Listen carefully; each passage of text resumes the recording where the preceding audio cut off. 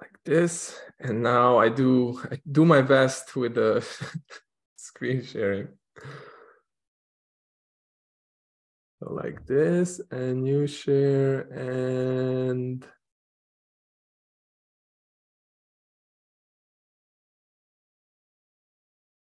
you should be able to see the correct version now. Am I correct? Yeah. Yes. The, the full screen, marvelous. Okay. So uh, let us start with the with the introduction to the book that we briefly um, spoke about uh, last week. Um, so as I said, as I mentioned previously, um, the book is extremely multi-layered. So as you will notice, whenever Dupuy talks about a certain topic, he will also meander through several other topics. And very often he provides certain hints, suggestions, um, different suggestive bits and fragments. Um, there's a lot of them in, in, the whole text in every chapter as you will see and it is impossible to cover them all so you know if i don't cover something just bring it up in the discussion i will just try to focus on the main thread of what he tries to do in this particular chapter and uh, um, hopefully I won't leave out any of the most important things.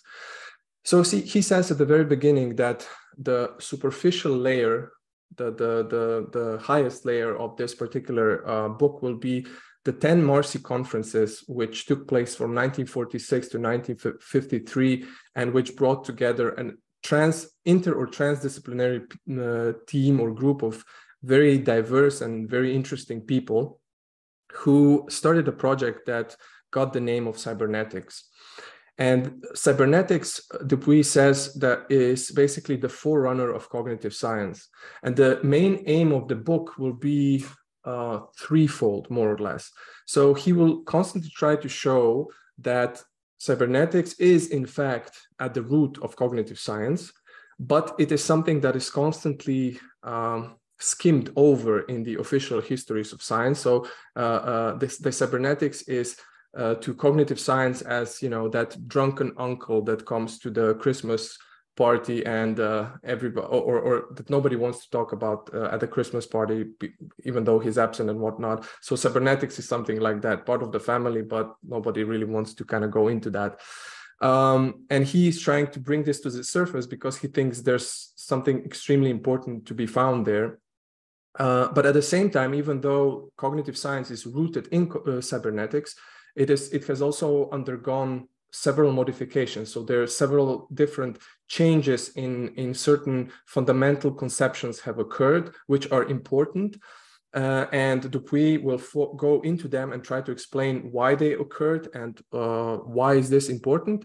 So he will constantly try to draw the, the implications of both the cybernetic conceptual framework and the modifications that ha happened later on. And this he does already, as you will see in this particular introductory, introductory uh, section. So he starts the discussion by uh, presenting what he calls a cybernetic credo.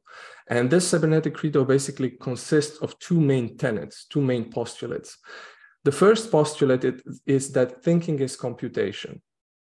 And the second main postulate is that in order to be able to scientifically account for such notions, such phenomena, such as, uh, as meaning, finality, and intentionality, um, um, we need to uh, account for them or, or elucidate them within the conception of physical laws. So these are the two main postulates that thinking is a concept computation and that uh, meaning, finality, and intentionality can be derived from physical laws. And this uh, provides for a physicalist or mechanical theory of mind. So cyberneticians were basically trying to show the way out of the age old mind body problem, whereby they try to reduce the world of meaning, the domain of meaning, to the world or domain of physical laws. And as we will see in, in uh, the next chapter, um, the reason why their approach was different from other similar approaches in the past was because uh, because of the huge emphasis on models. So uh, as we will see, um, in the background of the cybernetician uh, program is a very specific conception of knowing, uh, according to which to know means to be able to construct or reconstruct. That is to say, to be able to build a model uh, of the phenomenon you're interested in. So um, uh, we will go into that next time in two weeks. Uh, but this is something that will be an important topic as well. So even though there have been mechanical theories of mind already, uh, the, cyber, cybernet, uh, um, the, the, the theory of mind provided by the cyberneticians differs because of this emphasis on the modeling. Now, for everybody who is familiar with cognitive science, um, for anybody familiar with the cognitive science, the question will immediately pop up, while why isn't this basically cognitivism? Um, in what way is this these two postulates um, anything special? And um, Dupuy will say, well, it is and it isn't, and it is precisely these differences that he's interested in that, and he will try to focus on. As I said before, um, cybernetics is at the origin of cognitive science, but at the same time, there have been certain changes uh, that have occurred later on, and he's interested in those. So um, let us then take a look at some of these differences. So what is cognitivism? Cognitivism is usually presented as a first paradigm within cognitive science. It is also sometimes called computationalism. Um, and it is it should be relatively well known to everybody who's present um, at this reading group. According to Dupuy, cognitivism came to be, so it emerged out, out of a peculiar alliance, which he will problematize throughout the whole book. And this is the alliance between science, cognitive science on the one hand, and philosophy of mind on the other hand. So the scientific part in cognitivism is supposed to take care of the naturalization of the mind. So it is uh, supposed to provide for a uh, naturalistic, that is to say, causal account of the mind. Philosophy of mind, traditional analytical philosophy of mind, on the other hand, was rooted in the idea of folk psychology and was basically uh, trying to provide uh, an account of how mentality works um, by using or by re referring to notions that are to be that are found in folk psychology. Notions such as for example intentionality and reasons. So basically cognitivism was an attempt to bring together these two domains that seem to have parted ways uh, at the beginning of uh, so uh, at the beginning of the um, modern science so from 16th to, to 18th century namely the domain of causes on the one hand and reasons on the other hand that's a nice endeavor and a worthwhile aim goal, but how could one achieve this?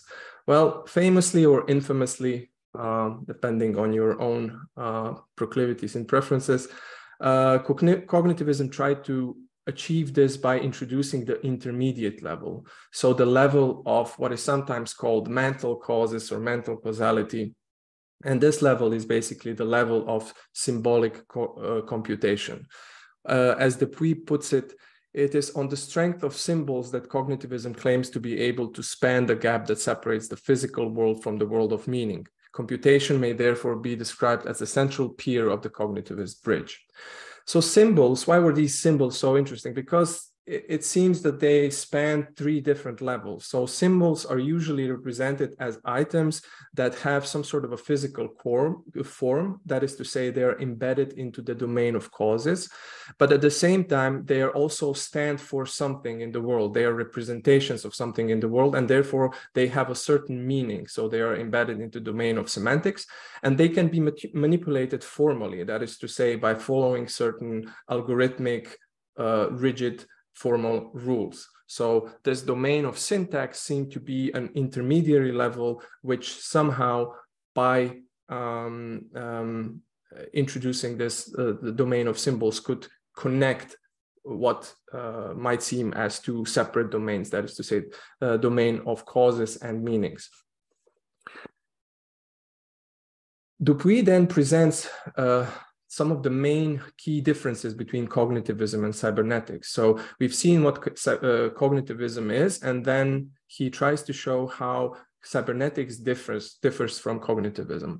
So the first difference between cognitivism and cybernetics is, is how they construe physics.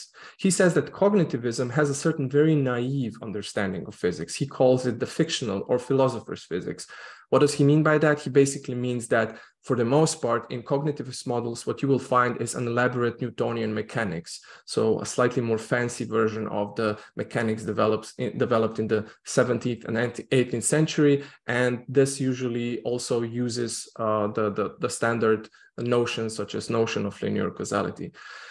Uh, on the other hand, cyberneticians, they used what he calls true or physicist physics. That is to say, they were more in touch with what was actually going on in the physics, and they were kind of taking seriously in the developments that were then still being avant-garde. This was in the 40s and 50s, and the chaos theory was just developing, and they were already dabbling in what later came to be known as complex dynamic systems, uh, and with certain ideas that came out of that. For example, the notion or the idea of circular causality. Then the notion of com computation, according to uh, Dupuy, the way this notion is used in cognitivism and cybernetics differs because we've seen that in cognitivism, computation is something that is symbolic.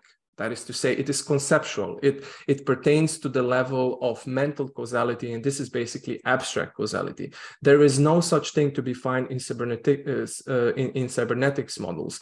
They are way more hardcore, way more orthodox. For them, computation is always pure, it's always blind. That is to say, it is physicalist and it relies strictly on concrete causality. That is to say, on physicalist causality. There are no intermediate uh, levels. Also, when it comes to meaning, the two approaches differ. Cognitivism, drawing on the folk psychological terms, understands meaning in a more human related sense. So they will talk about intentionality and so on and so forth. And there is space and there is room for reasons in this conception of mentality. For the cyberneticians, meaning is more universal and abstract, as Dupuy puts it, and is um, more structuralist as he will as as he terms it. I will get back to this towards the end of the presentation. So it is no longer something that is in any meaningful way pun intended related to human beings to human persons.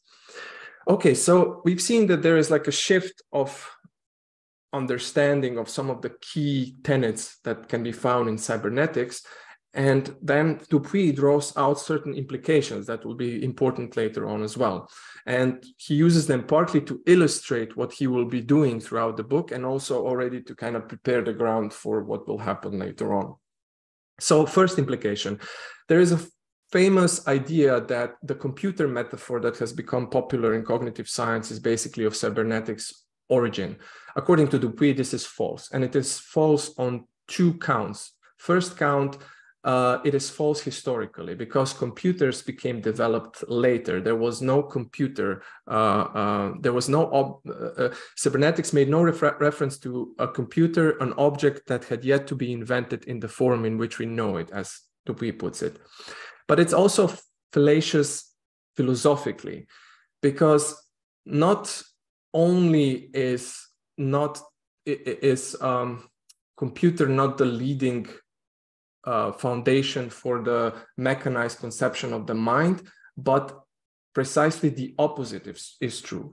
And here we come to the central maxim, the one that I already presented last time, that will be the main point that Dupuy will try to make throughout this book. Um, and it can be sum, summed up as follows. The cybernetician's first thesis, so that cognition is basically uh, computation, amounted to analyzing and describing what is to think, not to deciding whether it is possible to conceive of machines that think. It is important to see, says Dupuy, that cybernetics represented not the anthropomorphization of the mach machine, but rather the mechanization of the human. That is to say, by reconceptualizing what it means to think, what it means to cognize, cybernetics, cyberneticians paved the way for the development of digital computer and the idea that maybe we can build artificial intelligence. It was not the computer that started the process. So it was this particular change in the realm of idea that eventually uh, uh, resulted in this particular synthesis between the idea of digital computer and uh, cognitive science. The second implication that is important Cyberneticians had a very, very strong, very rigid, very pure conception of computation, whereby conception was understood as being completely and purely mechanical, uh, completely blind. There's no room for meaning and symbols. Uh, what they were talking about was basically networks of idealized neurons. Meanings for them was not related to abstract causality, so there's no mental causality for cyberneticians but there is only physical causality. So what they were trying to develop is physics of meaning. And at the very beginning of their project, they actually referred to what they were doing as developing teleolo teleological mechanisms, which on the surface level might sound like a, a paradoxical term uh, because you have te teleology and mecha mechanisms put together but that was precisely what they were trying to do. They were trying to show that phenomena or concepts such as teleology basically could be reduced or brought down to mechanisms. But what needs to, to happen in order for this to occur is to have a broader conception uh, uh, of mechanism uh, and this is what, where the uh, relation to the more uh, refined conception of what physics is comes into play, and where the notion that will be central later on of circular causality enters the picture as well. Now, the reason why the Dupuy thinks this is important is because we we see something very similar happening in connectionism, which we might say is almost nowadays becoming the prevalent paradigm in cognitive science and even in uh, different types of tech learning, machine learning in general. And very often, Dupuy says it is presented as if concept connectionism was some, something new. So as if it represented a move away from the cognitivism towards something novel. But dupuy says no actually it's a step back. It's a step back towards the cybernet, cybernet, cybernetics roots uh, uh, which were somehow uh, changed altered in cognitivism and the reason why this is so important is also because certain critiques against launched against cognitivism no longer stand against cybernetics, and they also don't stand. They're not useful when when you use them for connectionism. This is the famous critique uh, put forward by Searle between simulation and duplication. So Searle famously said that you know if you just simulate the the digestive processes uh, you you haven't really uh, captured you haven't really um, enacted or um, instantiated uh, metabolism. So you know if you simulate uh, the digestion of pizza you're not actually digesting pizza. But Dupuy says this is all well and fine for uh, cognitivism but for cybernet cybernetics, this simply doesn't um, apply. Why? Because for cybernetics, duplication is simulation. So according to cybernetics, any reference to meaning is basically a reference to something that does not have a certain um, um, um, specific substance that would be outside of the realm of simulation. So he gives the example of money and he provides like a very specific understanding of how money can be understood and that the, the value of money basically is related to how it operates within a certain framework. So if you have a counterfeit money, as long as it is part of that net, network, it has value just as some other money that is printed by, by the central bank uh, has value uh, because it is integrated into this particular framework. So the the as long as the simulation work, that's basically all there is to it. And if you have a duplication such as this counterfeit money, it's equally good as long as it can, you know, operate in this particular manner. For the for the cybernetician says uh, Dupuy, meaning is by its very nature counterfeit. Its essence is confused with, with its appearance. To stimulate the, its essence, for example, by means of a model, is to remain true to it, since simulation amounts actually to duplicating it. So basically, if you create a model, you've basically dupli duplicating uh, something that by its nature is simulation. So meaning, for example, is always simulation by its definition. So if you du duplicate a certain system that is capable of capturing this, there is no nothing is left over that that remains unexplained. Now, cyberneticians differed in how they understood this particular process. So some took the stance that uh, when you duplicate something or where you have this model account of a certain phenomenon, you're basically demystifying appearance. That is to say, you're showing uh, the true nature of a certain phenomenon. But there were also some who said that these phenomena are inevitable because they are useful heuristics.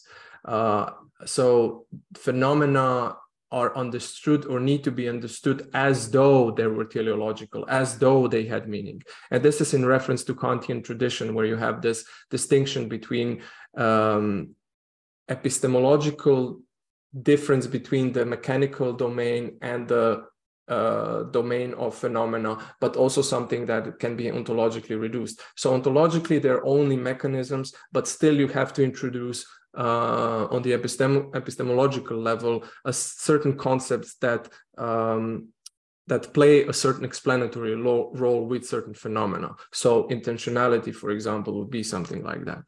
And uh, uh, Dupuy will get to this later on. And the final implication is, he says the following, cognitivism is an heir to cybernetics, but it is also an attempt to alleviate the physicalist or eliminativist excesses of cybernetics. However, the way it went about doing this, even though according to Dupuy it was a valid or a noble project, was not particularly skillful. He says that this strange synthesis between co- early cognitive science and analytic philosophy was an unhappy accident. So, as you will see, he's not a big fan of analytical philosophy of mind. And he says that there were way more um, elaborate and intricate philosophical alternatives available back then. He explicitly refers to Husserlian and even post Husserlian phenomenology, which could have been a way better interlocutor to, to science than the, the classical analytical philosophy of mind. Okay, finally, there is this question of humanism or anti humanism. So he's trying to show that all these debates they are not just something that is interesting from say a certain uh, epistemic point of view but they have broader that is to say existential and ethical implications there is an ongoing back and forth between epistemology and uh, philosophy of science and the realm of ethics the realm of existence so the, the, the broadest realm of existence and there is a famous critique that cybernetics means the death of human person or death of human personality. And Dupuy refers to Nagel and um, uh, his idea that uh, in, in the contemporary scientific worldview, person or personality is a dying notion, so that we are witnessing a death of human being. And um, Dupuy goes into a bit of a discussion about this. And he will, as you will see, return to this in later chapters as well. Namely, he brings into the debate the famous Heidegger's saying that cybernetics is a pinnacle of humanism. So it's not a death of human personality. What Heidegger does is he spins this around, he does a 180 on this. And he says that basically cybernetic is a pinnacle of humanism. It is the height of metaphysics. Now, what does Heidegger mean by this? Because we will crit critique this approach. Metaphysics, according to Heidegger, basically refers to uh, the notion that there has to be some sort of a primary, primal, primordial being. And through the history, this the role of this human, uh, the, uh, of this primal being uh, was changed.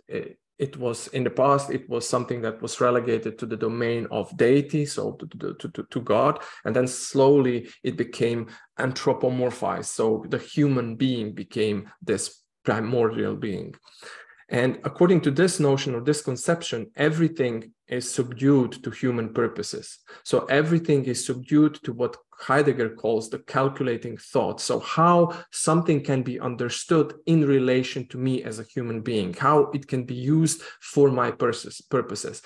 And cybernetics, as technoscience, or technoscience as he calls it, is basically the culmination of this process. So, what is needed now, what would be the remedy to, to, to rectify this particular state of affair is what Heidegger famously refers to as deconstruction. We have to deconstruct certain metaphysical notions and their historical. Um, so, so, so we, we need to kind of uh, be um, able to understand their historical genesis and then eventually break through them into a different way of doing philosophy of different way of thinking and in different way into different way of being. So we have to move from what heidegger calls calculating thought to contemplative thought. And when he talks when he's attacking um, humanism he is not defending any form of barbar- barbarism although you know given the given what happened in the 30s and 40s one could maybe um, add some comments to that. Uh, he says he's not defending any barbarism, but that that, that it's only the um, techno-scientific thought that can, that sees the the critique of humanism uh, as leading necessarily into into uh, some sort of barbaric anti-humanism. And this is not the case. He thinks that it could be transcended, it could be moved into something else entirely.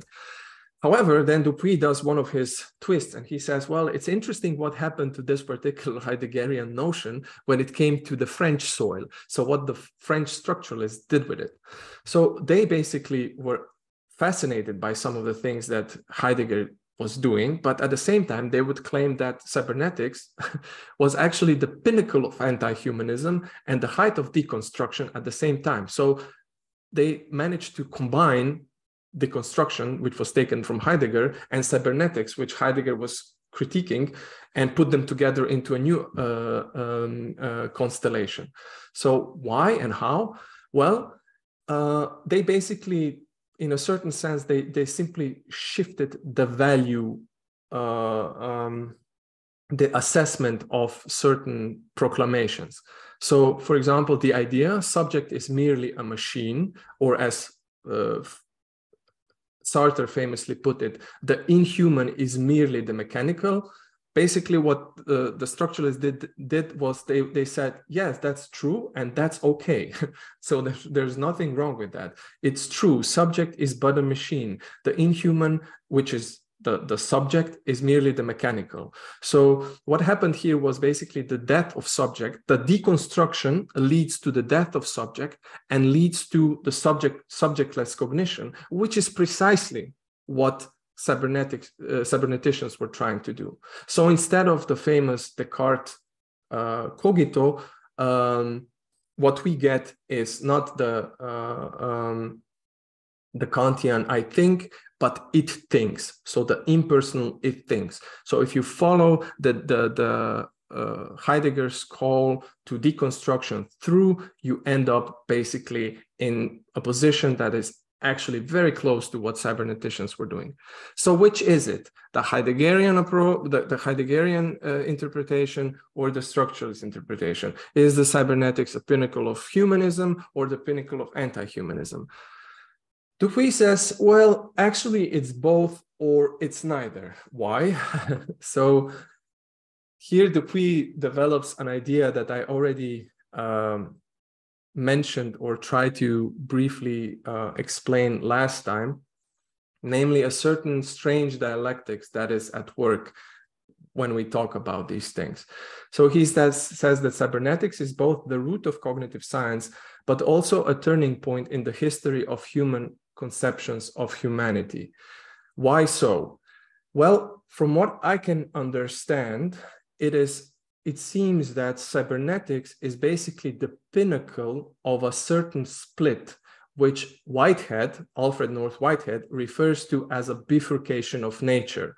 So this split between the subjective and objective between the phenomenal mind and be between the phenomenal nature and uh, between the, the, the physical nature.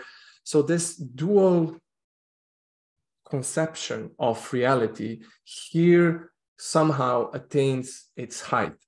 Why so?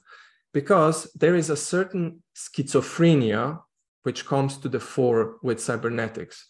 When I say schizophrenia, I mean this literally as a two mindedness. There is the splitting of the mind. Okay. So there is a mechanizing mind, the mind that is pursuing this um, project of mechanization, where it tries to turn everything into a pure machine. And there is the mechanized mind, which is precisely the mind as turned into machine. And the mechanizing mind represents the height of humanism. Why? Because it represents the highest form that can be taken by a subject that is capable of asserting its ultimate volition and power onto everything to the point where it is basically able to negate itself and turn itself into a thing. So, precisely the opposite of what it is. And the mechanized mind, on the other hand, is the pit of represents the pit of deconstruction because here the mind becomes precisely the opposite of itself. So what we get is actually a huge split. The mechanizing mind becomes by by asserting its capacity to say no to everything and to even say no to itself to its own nature and turn it into something else becomes the pure subject the pure transcendental outwardly something it basically becomes what Sartre refers to as nothingness, and the mechanized mind becomes simply a pure thing, another thing in the world. So what you get is like a complete split that is the, the, the at the core of this uh, modernist project, where you have a transcendental subject that is separated from the world, and you cannot get it together. Um, and in the way that Dupuy presents it is actually very interesting. So, so he says that it's funny how when you talk about naturalizing the mind, this in, in this particular context, in the context of cybernetics and in the context of cognitive science, what you end up is artificial intelligence. So how these two notions, the project of naturalizing the mind and the project of artificial intelligence are actually closely interrelated. And he provides approximately the, the, the, following picture.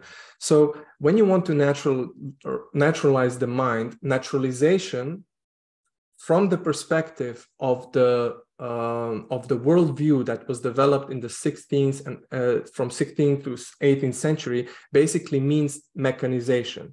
Nature is construed as the domain of uh, mechanical processes, and these mechanical processes are, as the very name itself conveys, are uh, modeled on the, the ground of a machine. So, so they are basically uh, um, uh, uh the, the, the, the nature is construed as a huge machine that operates as a huge machine. So basically the process of naturalization is a process of artific artificialization. So the process of mechanization and therefore artificialization. It is precisely a move away from nature. So to try to naturalize the mind by mechanize it is precisely to take it outside of the mind.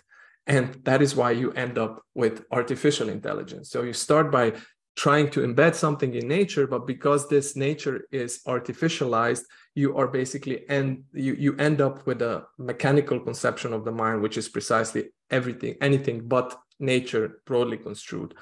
And one of the points that uh, Dupuy is here making is the more you try to naturalize the mind by pursuing this particular path, the more it is becoming, on the one hand, the mind that you're trying to, that is naturalized, is becoming more and more machine like. Whereas you yourself, who are trying to naturalize the mind, are becoming more and more um, outer worldly or uh, uh, separated from the world because you are precisely the, the subject that is kind of doing these things. So there is like an exile from nature uh, in two separate directions. So what is dupuy's position? He doesn't really spell it out here. He's clearly not trying to defend the old humanism, but neither is he trying, of course, to defend the humanism. He says explicitly that he is in the camp of the humanists, but I would say that it is something along the lines of a reflective humanism, and by this I mean the humanism, human humanism that is aware of what it is doing. So uh, humanism that reflects on uh, precisely these this tendency that you always try to um, align things in a way that serve human purposes and that is trying to get away from this but without sacrificing the the the, the, the conceptions that are crucial for for human personality so yeah that's basically it.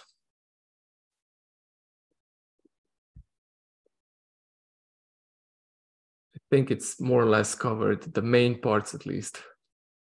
Bravo.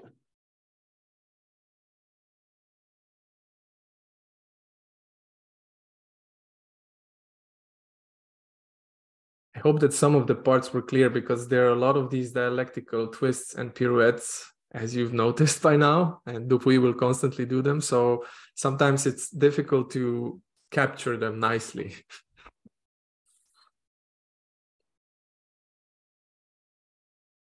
anyway, on to the discussion.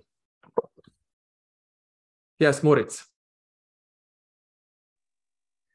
Uh, yeah, just like a, a, short remark to like the part um, with the philosopher's physics and the physicist's physics, like this separation between cognitiv- cognitivism and cybernetics.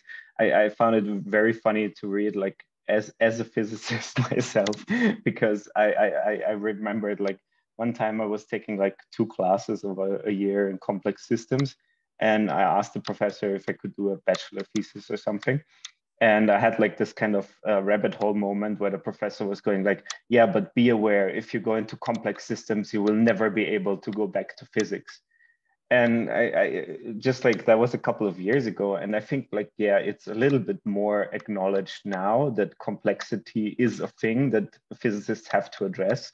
But i would say like just from my experience that like 95% of physics really does without that and is still in this what Dupuy called the linear, like uh, elaborate mechanics thinking, this kind of mindset that um, we can still reduce complexity to like these linear relations.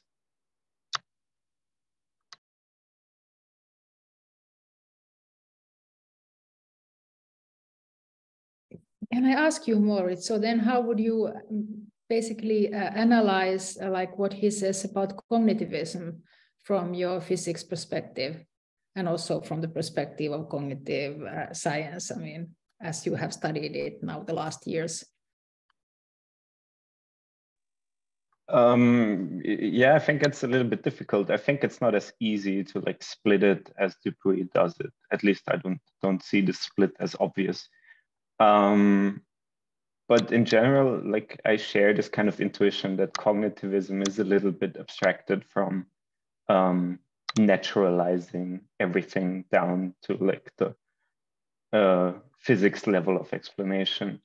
Um, but yeah, in, in the end, I, I, I don't think that like uh, most of physics is doing this really strictly eliminativist uh, research as uh, you can often find in like philosophy of science discussions where they uh, put the physicists in a very strict camp. But like at least what i experienced from research it's it's very instrumentalist for most of like the the fields the levels of phenomena there that they're looking at.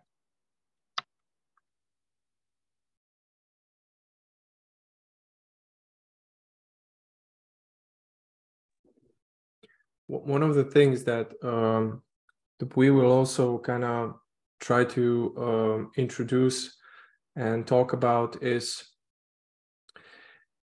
um, the that there's a lot of implicit And I mean this like li- literally, that is to say,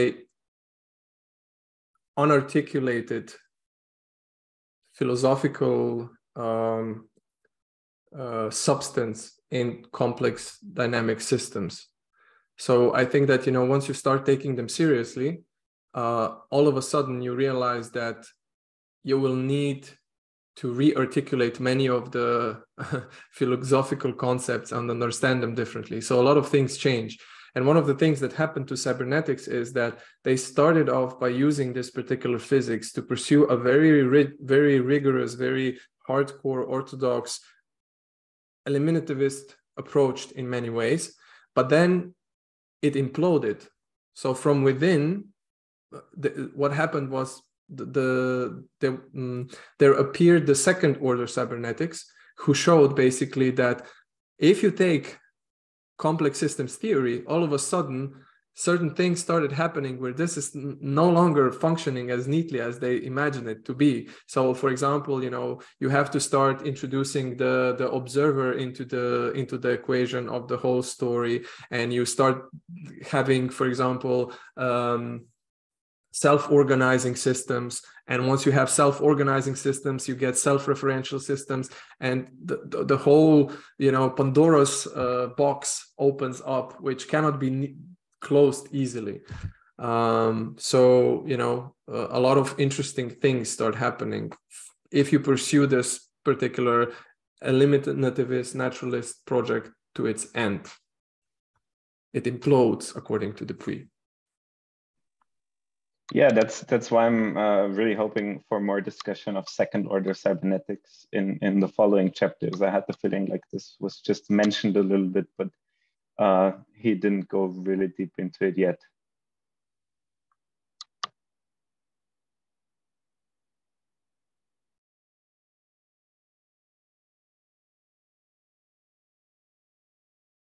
Any further comments, questions?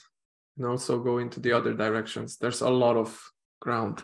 Michael, yeah, Michael and Tarja. Yeah. Tarja, you go first.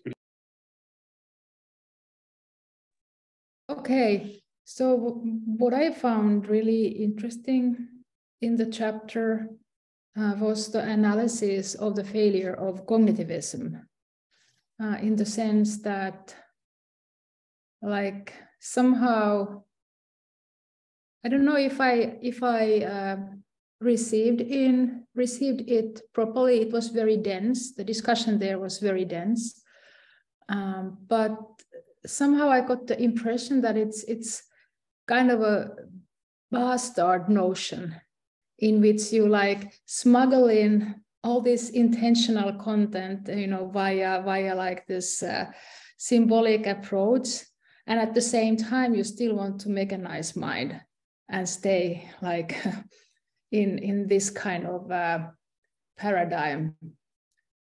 Um, and to me that sounded somehow like i'm not um, specialist in any of that but somehow he was able to put his finger on something that i always found somehow problematical. I thought there's a gap somewhere there and i don't understand like how all of this actually hang together. And then um, it did seem to me that Dupuy was nicely pointing out that actually they don't. you, you just put all these things together, but actually like this, this middle mediating level isn't mediating anything. It's just, you know, kind of a, a band-aid there.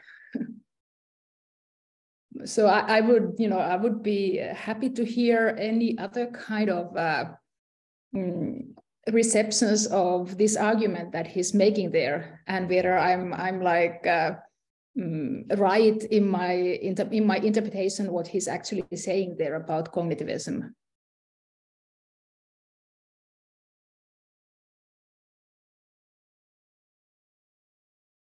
No Tarja, in my opinion yeah that's a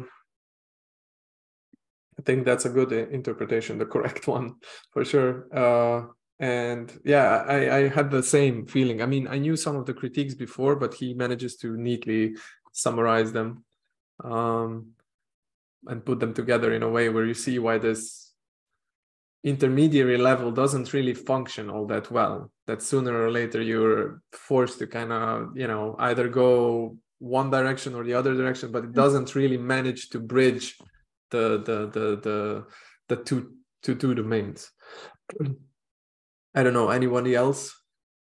Any ideas on this? Uh, uh, yeah mike michael go on and then andrea. I was just going to say I didn't I didn't fully understand what you were asking there, Terje.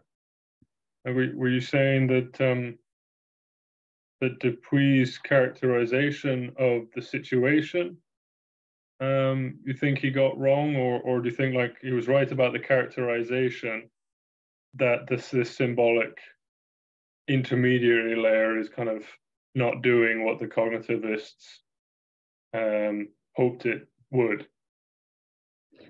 Uh, yeah, thanks for asking. I, I didn't mean to say that he was wrong or right. I just meant to say that first to ask whether my interpretation of that was more or less correct. And then I just wanted to say that in, in my opinion, uh, he somehow succeeded to uh, point out the thing that I always found uh, problematical about like this cognitive, what he calls cognitivist approaches. Yeah, okay, yeah, I'm, I'm with you. I'm with you. Andrea?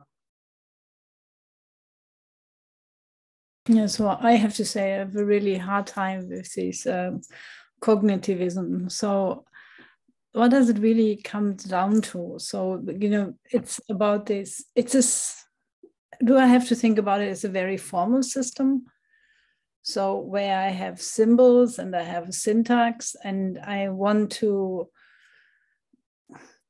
you know, what's what's the what is this cognitivism approach after? So I see that you know it's it's a matter you know it's it's based on on physics and it's based on Newtonian physics and I want to explain how the mind works on the basis of Newtonian physics and in a very formal system. Is this right? And somehow I have to get the reason in. So I have to somehow connect the the causes and the reason so that it's not a totally um, how to say, you know, just totally formal system which is totally connected from from the human mind. Or do I get this totally wrong? No, you're pre- precisely right. So the, the the idea is to somehow bring together these two worlds the world of science, which seems to be functioning, operating with with uh, the notions of causality, and basically there's no room for reason. So, for example, if I go and I open a door, it's basically everything can be accounted for in a mechanical way as a cause and effect.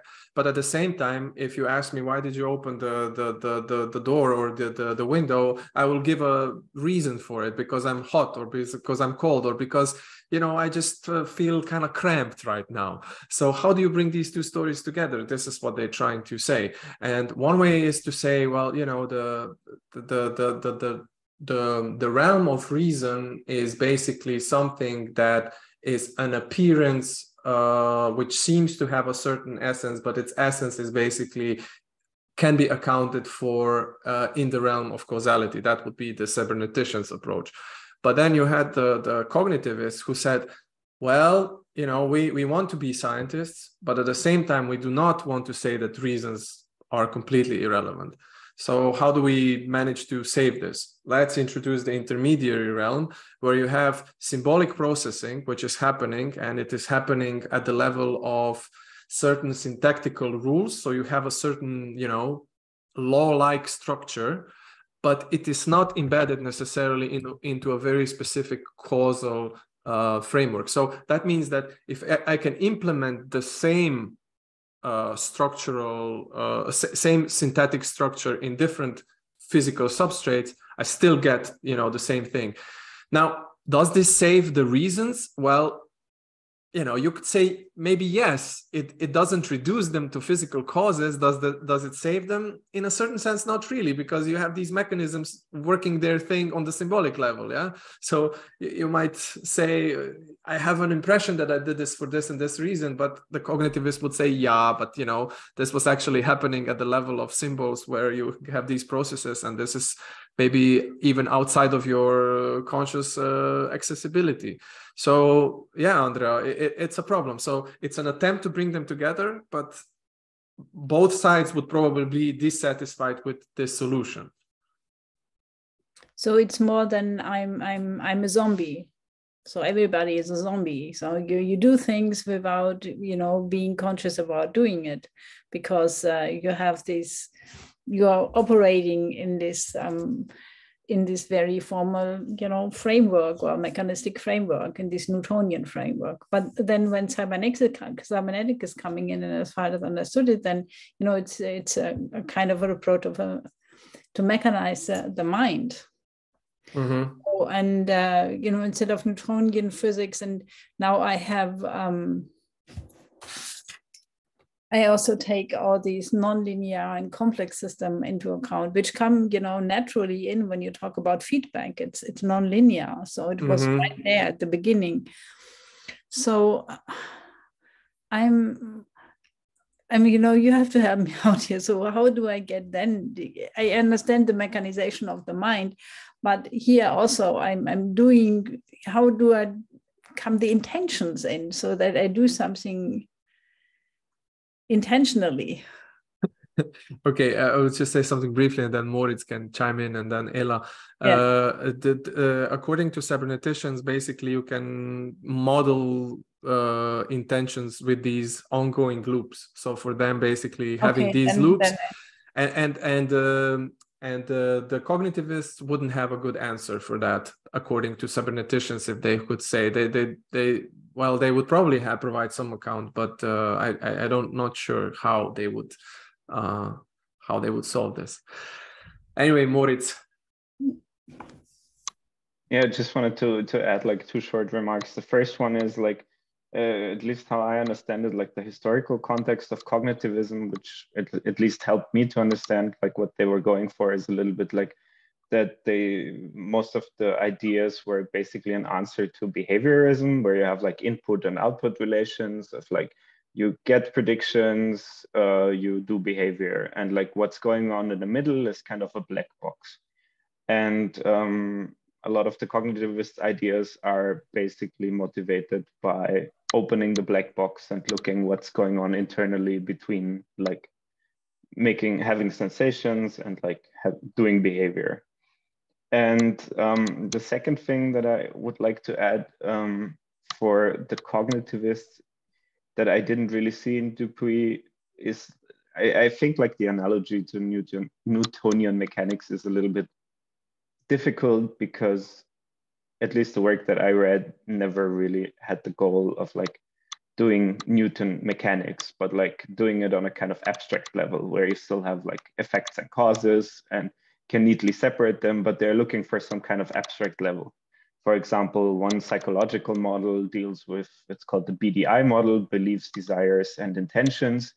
And like it tries to basically model how behavior arises by assuming that like cognitive agents have beliefs, desires, and intentions that you can somehow formally uh, model and then you can capture them like in a mathematical framework and then try to um, explain how certain behaviors arise. And I don't think that is like eliminativist or like Newton mechanics in any way. It's just like an analogy of like finding linear relations between beliefs, desires, intentions, and uh, behavior. Yeah, Moritz, I would just like to maybe add or qualify this. When I when I said that it was an elaborate uh, Newtonian mechanics, I basically was referring to what Dupuy was saying that they were still kind of operating in this precisely this idea, for example, understanding causality as a sophisticated version of the billiard ball approach. So, you know, you have cause. We, it, it seems like we all know what efficient causality is. You have a cause and you, you know, uh, you have an effect. and uh, it's it's linear in a certain sense. Uh, and this was just introduced. So when I was saying this, I meant this, not necessarily strictly Newtonian mechanics. Of course, everybody in the cognitivist camp would say we have progressed since then, but certain fundamental theoretical posits or tenets were kind of retained. That was the main main point. So that's just a brief qualification. Uh, so yeah, okay. Ella. Okay, good. Good to clarify that.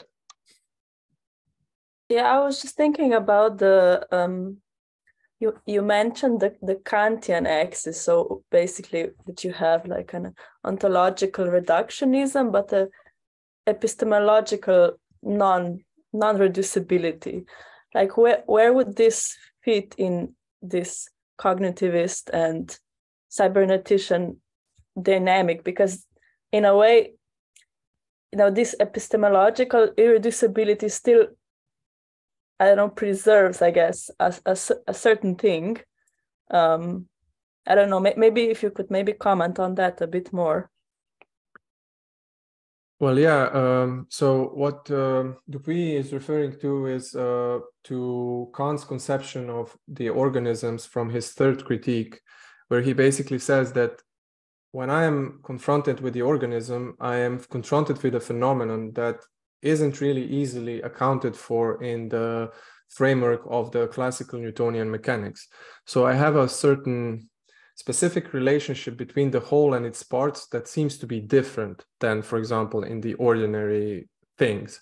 So I have a whole that consi- that exists because of its parts, but at the same time, parts that are parts only because of its whole, because they're part of this particular whole. So there is a certain, almost like a autopoietic relationship there. And Kant has an issue then, you know, what am I going to do with this? Does that mean that, for example, you have irreducible wholes that behave like teleological wholes and I have to introduce a separate um, set of laws into the story. And for example, Hans Driesch, the, the notorious vitalist from the beginning of the 20th century, followed this route. He was a Kantian in this regard, and he said, we basically do need something like that. We need the laws that would account for what he referred to as entelechy, which is the life force. And he was kind of trying to be serious philosophically with regards to this. Kant's solution was not this. He said that what we need to do is we need to recognize that there are certain phenomena that if we want to account for them if we want to provide a certain explanation for them we will need to revert to certain heuristical notions such as teleology for instance or uh, a wholeness or something. But these are just epistemic so they are useful shorthands that i can use in the biological science for example but ultimately they should be reducible to the mechanistic conception of the world. So it's not a particularly satisfying solution in my view. And this was kind of something that was a big thing and it was constantly emphasized, but and it could go in different directions. But Kant somehow tried, not unlike our friends cognitivists did, to have his cake and eat it too. So he tried to remain like systematically and rigorously mechanistic in his worldview conception, but at the same time open up the doors to certain epistemological conceptions that or notions that could be inescapable for us to be able to um, account for certain phenomena. How they are interrelated remains mysterious, and we so far have not yet had the Newton of the, how does he call it, grass blade. So whoever will be able to account for this will be the Newton of the grass blade. yeah, Andrea. Oh. Sorry. I just wanted to ask, like, what about um, accounting for this on a on the social level? I mean, isn't isn't that a direction that it went into?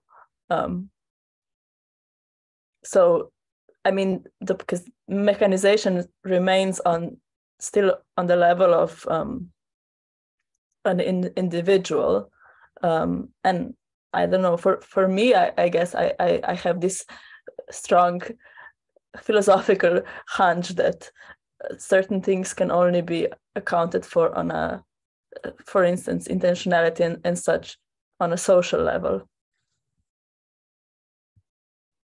Yeah, okay, maybe somebody else can comment on this. Uh, I, I'm not sure how this would necessarily solve the problem, but Andrea, you wanted to comment something on this? No? Oh, okay.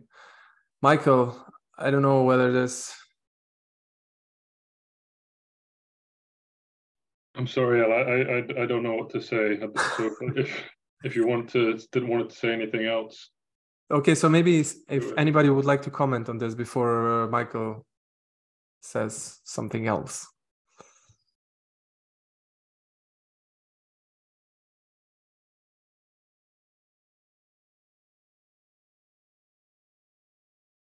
Because it is an interesting distinction for sure. Also for for the our model making group, Andrea and Tarja. I mean, Sellars has this, I guess, a lot and Brandom. That's why I'm. That's why I know it. I, I know. Um, I know in which direction you're trying to. I'd be curious to hear more because I'm not. I'm not fully understanding. To to be honest, Ella, what what your question was. I don't know. Maybe maybe maybe we can talk about it like on the in the next chapters if it likes if it if it pops up. It um, will. Hmm but but I don't know. I, I mean, was this very unclear? So uh, just Kant famously said that some phenomena behave as if they were teleological. So you know, there's like a heuristic that you need to take to account. Biolo- bio- biologists will not be able to escape providing these type of, for example, teleological judgments but they do not necessarily ontologically refer to anything that would be, you know, actually pertaining to any ontology as such, uh, to, to teleology as such.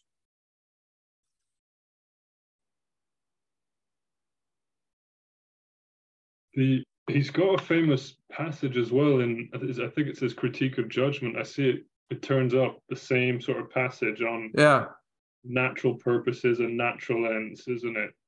And he has he has this example of a watch.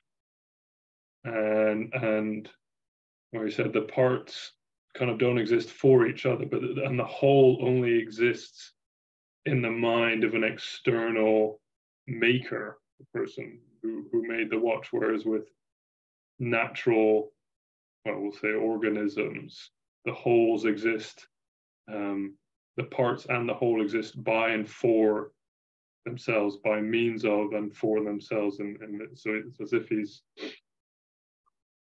um, forecasting this notion of autopoiesis. I don't know. That's where it kind of went, Sebastjan, uh, when you when you were talking about about Kant. There is that. Yeah, um, that this is very much related to that. Daria, did you want to comment on this? Yeah, I was okay. Just, yeah, thinking about this as if solution. Um, well, I mean, when it comes to uh, scientific modeling, I mean, there are many models which precisely give us as if solutions. For instance, like economic models have been criticized for uh, for basically explaining something in terms of that people behave as if they, they, they're maximizing, and that's why we have the kind of phenomena we have. And then, rightly so, some others have said that, well, this is unsatisfactory. we need to come up with some better like uh, explanations for this. But I don't know how then this actually relates to Kant's solution that much. But obviously, if you posit something like you give as a kind of a solution, an, an as if solution, it's it's going to be problematic, I think. I mean, in principle, it's kind of placeholder for better explanation. Yeah, Kant's solution was basically, in a certain sense, not really a proper solution. It was just, you know, I mean, it's very unsatisfactory in many ways and on many different levels, I would say. Um, because you're yeah I, I mean maybe we would if we had someone like a proper kantian here he would be or he or she would be able to defend this better. I'm just kind of trying to uh, draw a rudimentary picture without necessarily uh, being uh, very sympathetic to his solution and also maybe to uh, you know be able to provide all the details of it. So... yeah yeah that's precisely the reason why i'm being cautious here as well. Not wanting to commit myself at all in any critique or kant yeah. Don't have the muscle to do it like. Uh, from my understanding this particular solution is uh, ultimately untenable. So you're forced to do something with it. Yeah? So you, you have to kind of take it, it's it's one of these solutions that's similar to the one provided by cognitivism. It it seems that it is not tenable and that you're forced to kind of take a certain route it it's um yeah it just uh, doesn't seem to be able to uh, hold its ground but anyway michael thanks the it's fun. It's a funny experience now going over these terms, cybernetics and cognitivism. Um, again, that and I think you did a fabulous job of, of, of presenting what was is kind of like a not an easy easy chapter. I, th- I think like if if without prior familiarity with with any of this space, like this is this is it's deep in already and and the two terms are interesting for me in particular coming from like a yeah the analytic philosophy of mind background and philosophy of a, a, a ai background like the terms cognitivism and cybernetics never come up you know like people are like what's cognitivism and and so now now I'm sitting here going confused after a couple of years of writing and, and thinking like, well, what the hell is the distinction here again? And I, I, I don't know. So that the way I and I, am having to go over again just to in my head just to, to to find my feet a bit. And in my head, cognitivism kind of was more in, in the domain of psychology than than say philosophy um, and in a psychological movement of an, of an attempt to, uh, and, I, and I guess I'm saying this in the hope that anyone anyone can correct me if I'm if I'm wrong. That my understanding was that cognitivism, or that they, these were sort of two separate movements, um, and coming from separate domains, and that cognitivism I understood was more from the perspective of psychology, and cybernetics was this Macy conferences, engineers and physicists and mathematicians and information theorists getting together. And that, and that what kind of held them both together was an attempt to, or at least what retrospectively we can say that united them was an attempt to remove sort of internal mentality from um, a description of mind um, and so, and that's you know, where the behaviorism in the in the context of psychology came up. Like, oh, we're going to have explanations that don't have to refer to internal states, and that cybernetics found, hey, we can duplicate or simulate um, aspects of cognition um, in mechanical systems.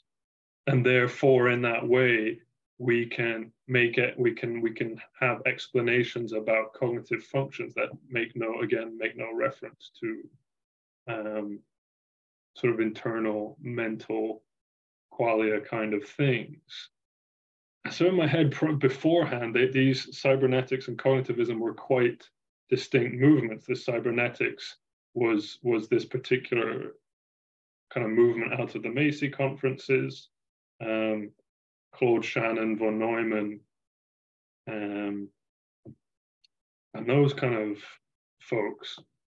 And then cognitivism was was this other thing. And so when when Dupuy puts them together like that, like and and and it's an it's I don't know it's, it's almost as if he, they're now now more confused before. I don't know if I don't know if any of that was helpful or more confused. Does anyone else on the same page there or?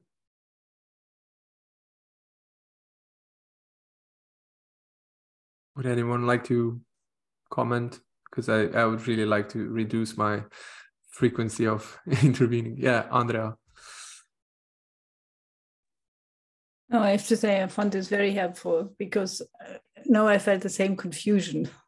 So um, because I, I was, uh, you know, I, you know, I got these um, these hunch that there was, you know, what you say, you know, you take the mental out, you know, that they were they were taking it out, but I also I was thinking, so but how do they take it back in?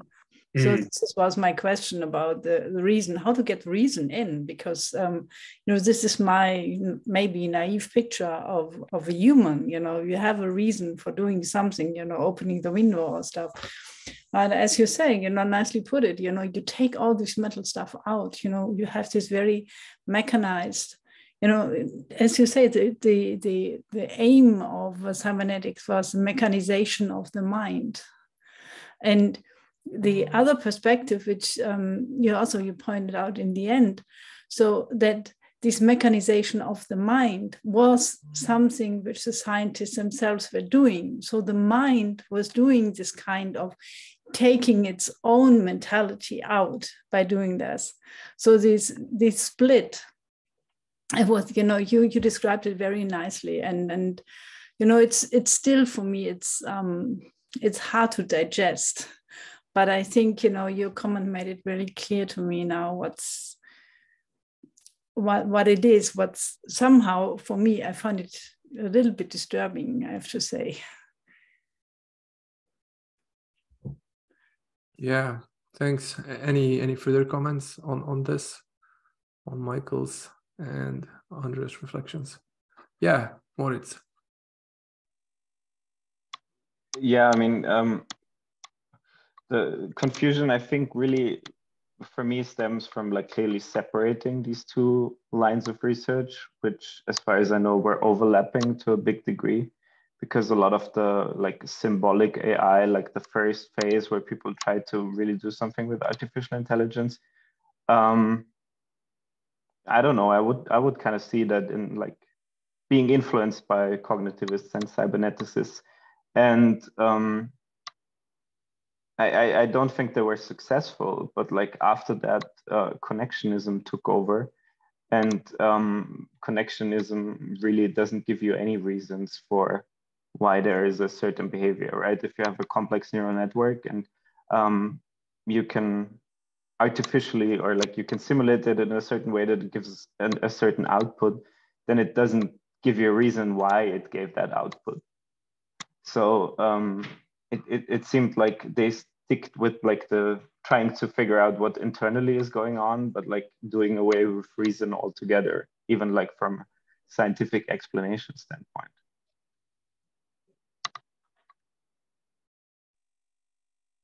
Yeah, Andrea and then Gregor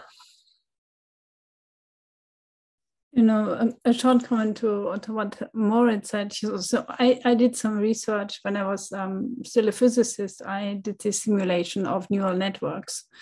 So, and, you know, I think it's, yeah, it's right. And now I'm starting to wonder why I never really questioned, you know, this, this kind of approach. And one reason was it was so deeply embedded into physics. So it was from, you know, for me, it was um, always spin glass models and not so much neural network models. So this shows how deeply embedded it was. So it doesn't even came up, you know, that you would ask these kind of questions about reasons, intentionalities, behaviors, and these kind of things. The only thing we were studying was pattern recognition. But this also was very clear that you know we are far away from anything what's going on in, in our in our brain. And it was only when i talked years later to to um, david hopfield so when when i john hopfield so when when and and he told me that for him it was always important to show how different it is. You know how different these physics models from you know these neural networks models you know, coming from physics are from what's actually going on in the brain, what we already see, you know, how well we, you know, we recognize a person, even if the picture is not very good, but how bad we are in arithmetic. So this, um, there for the first time, I, I, I got also this impression, okay, there's, there's something you know it's it's more of you know it made something clear to me why these networks were never really about you know neural networks or about the brain but you know and this being deeply situated in physics also never occurred that people were asking you know these kind of questions which are asked by Dupuy.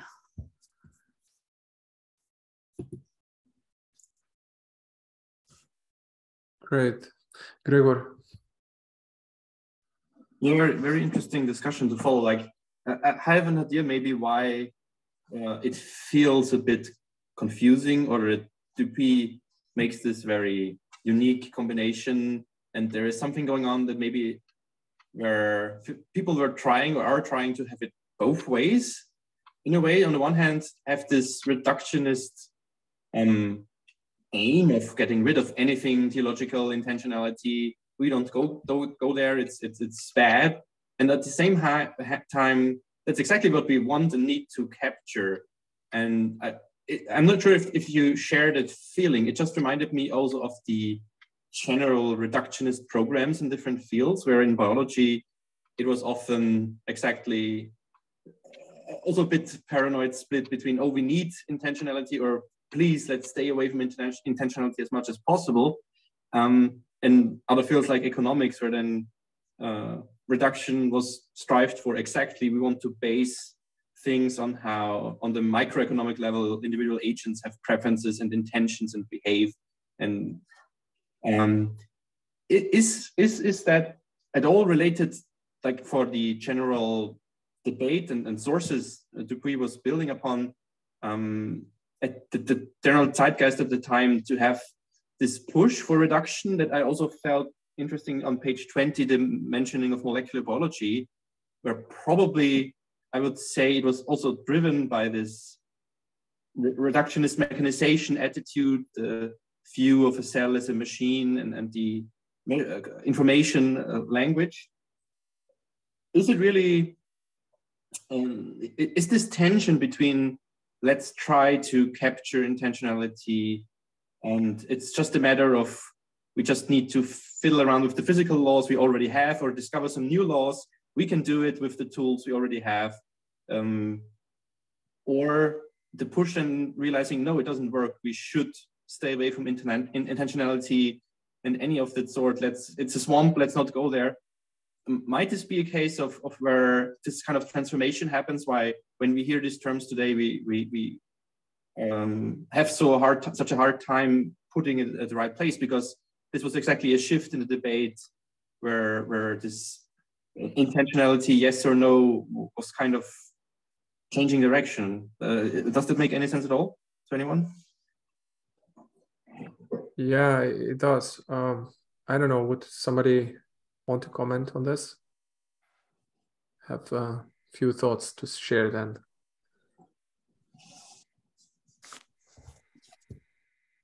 So, okay, maybe uh, you asked whether um, in a certain, in many ways, uh, what cyberneticians were trying to do is they were very much, as we will see in later chapters, they were very much in tune with what was happening at the very avant-garde of science. So they, they kind of knew for example uh, and not only many people knew about this stuff but weren't really necessarily um, reflecting on the implications of this. So what were the more far-reaching implications of certain notions and how they might be maybe used in different domains outside of the domains in which were they developed they were developed?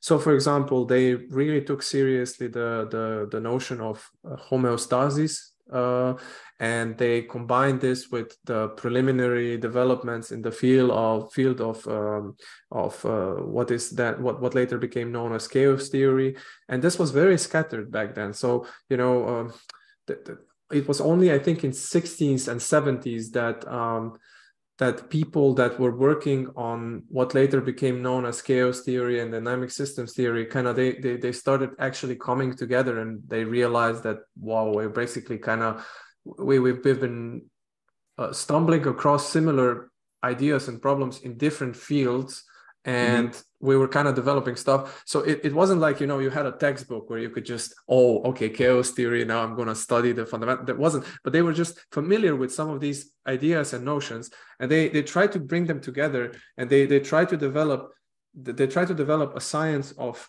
systems of regulated systems. So for them for example you know if you have a projectile that behaves as if similar to say a living being that tries to follow a certain something uh, so a certain predator following the prey following the prey or something like that. And if you have a projectile that moves in a similar way where you basically have the target moves and the projectile is able to follow if you're able to model this you know th- there seems to be okay so what is the mechanism that I'm using for this? And it would seem that there's this feedback loop. And all of a sudden they had, oh, feedback loop, you know, what can mm. we do with this particular concept? This particular con- concept kind of, you know, introduces whole, a lot of new possibilities. Um, uh-huh, Moritz has to leave. Bye-bye, Moritz. Uh, so yeah, so, so basically uh, it wasn't even necessarily that they were trying to be reductionist per se so that they would be like yeah we need to kind of you know. They, they were very often they came from the scientific background and they thought well look like there, there, there are all these concepts cropping up yeah? Mm-hmm. all these tools so what can we do with this you know? Maybe we can as you as you will also see they were they were they were a very heterogeneous and very eccentric bunch. Like these cyberneticians they were all extremely eccentric. If you read any of their stuff for example if you read if you read the, the, the textbook uh, the embodiments of mind by by mcculloch that's that's the weirdest stuff ever. You will have like uh, pages of complicated mathematics and then all of a sudden several pages of poetry and then you know certain philosophical reflect he was these was st strange people so i think there's also like a social and personal reason why uh, these more uh, let's say um, uh, highbrow later cognitivists didn't really want to associate with them. Like I said, it, it's one of those uncles. You know, you have an uncle. He's a bit of an eccentric, a bit of an artist, known in some circles, also kind of notorious in others. Nobody really wants to talk about it. Everybody knows about him. That those were cyberneticians. So uh, they were trying to just kind of toy around with many things, uh, and yeah, they develop they they try to pursue a certain approach that would maybe kind of use these concepts and uh, yeah, okay, Daria, bye bye. So we, we will also wrap up in a couple five ten minutes or fifteen. I don't know how many people uh, want to stay. Uh, but yeah, so that, that would be the answer. So, you know, there was a lot of things happening and they just kind of were drawing on these different things and, uh, and then trying to apply them. Yeah. So given the fact that everybody will shortly leave, maybe another question or two, and then we can wrap it up. Maybe Michael, if he has some final comments before he goes.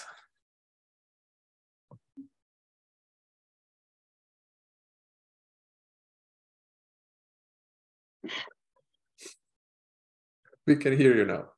Yeah. I don't know.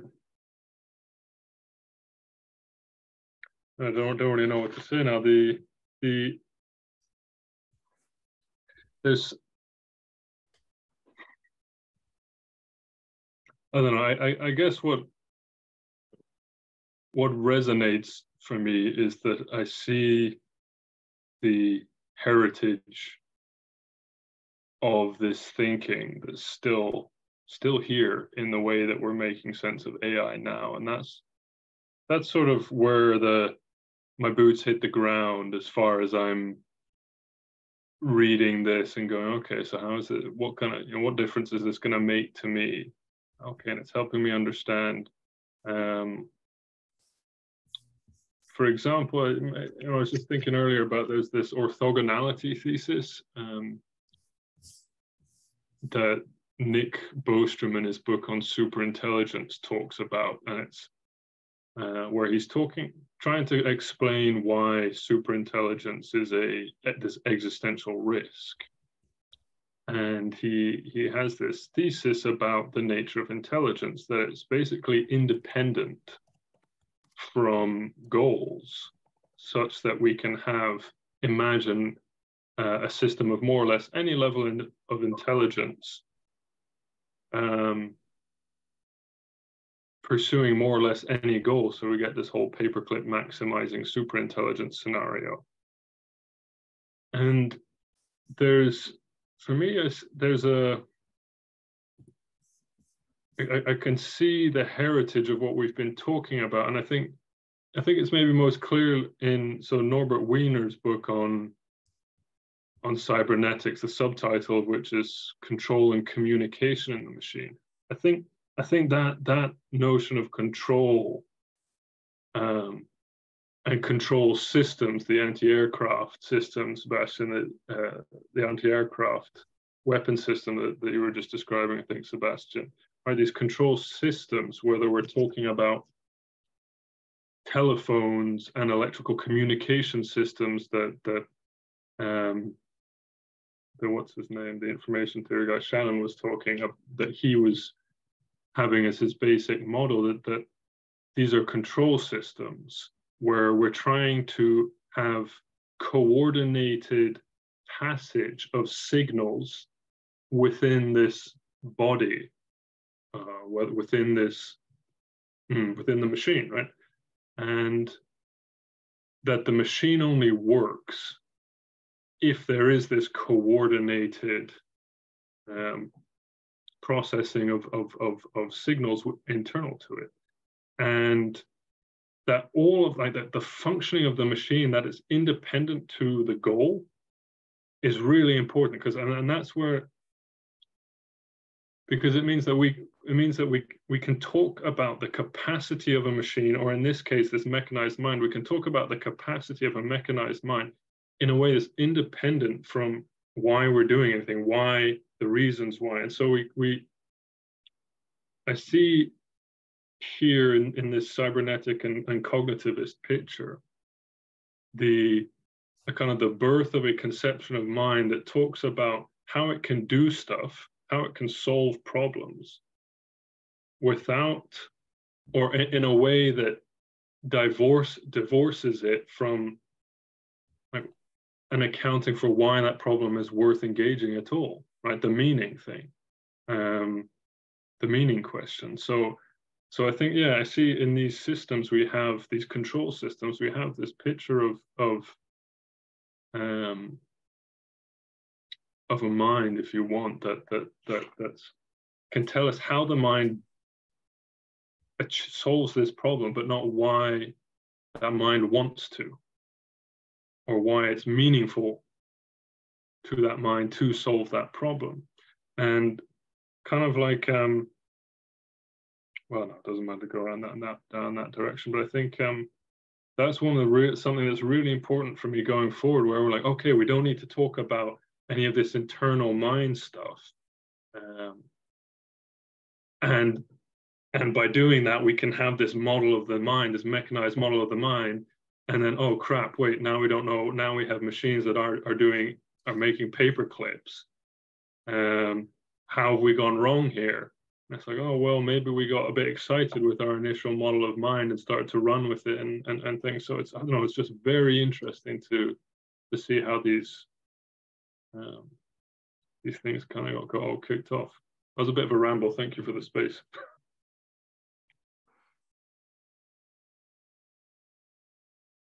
Yeah, since we are nearing the the end, I'll just maybe uh, say that for me, the most fascinating uh, part was precisely also the one that Andrea was uh, mentioning, um, like the the the critique that he provides when he talks about humanism and anti-humanism, where he basically draws on this idea of the split-mindedness and schizophrenia, as I called it. Like it's such an ingenious move, where you know you kind of have this impression that something is off, and uh, the, the more the, the stronger the the the more uh, seemingly all encompassing the mechanized mechanized mind the more almost deified the mechanizing mind becomes so the, the the more you move away from what you normally would construe as mind being something that is different, the more you underscore it to the point that it becomes completely separate from everything else. So, so the more you want to enworld the mind, the more you want to objectify it, the more it de-reifies itself as that which precisely does this particular process. So that which tries to reify becomes utterly de-reified. So you know uh, a very specific. It, it the the uh, at the bottom of it is the way I see it. Dupuy will claim basically this is basically one attitude that the mind can take, you know, and you cannot get away from this. That this too is an attitude. It's a very schizophrenic attitude because you get this strange separation, strange split. But at the same time you know there is always an attitude but you can also have a different attitude to it. So you can you know and i think that some of the approaches that are trying to constantly emphasize the the domain of corporeality domain of vitality are doing precisely this.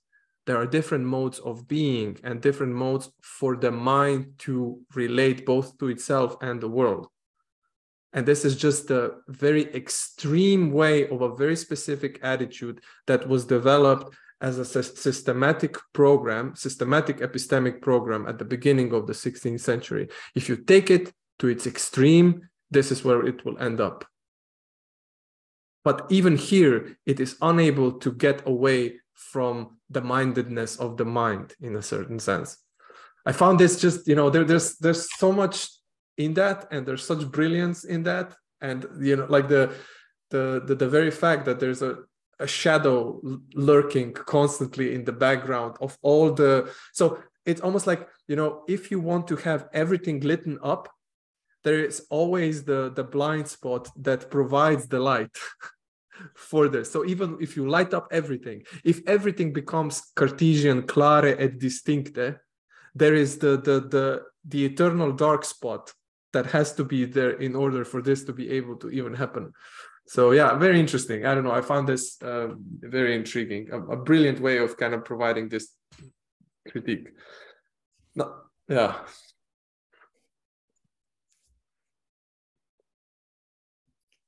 Anyone else maybe want to say something about this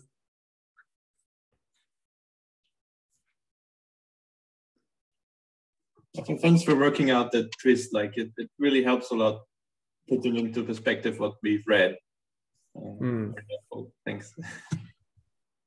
yeah, glad glad if something was helpful.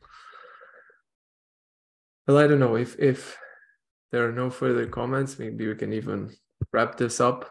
Michael has to go anyway. I'm guessing that others as well, unless there's still something that you would like to discuss.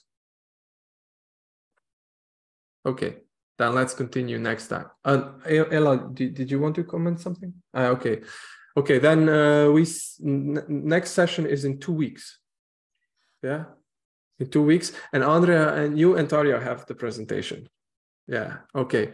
And yeah, we will also need uh, before we say goodbye. We also need another person for the meeting after that one, and everything else is covered if I'm not mistaken. So if anybody would be so kind to volunteer, maybe Gregor, for instance, uh, or Moritz, uh, to present that particular chapter, that would be awesome. So with that said, be well, enjoy your Friday and enjoy your weekend. Bye, Have a good weekend. Ciao, bye-bye.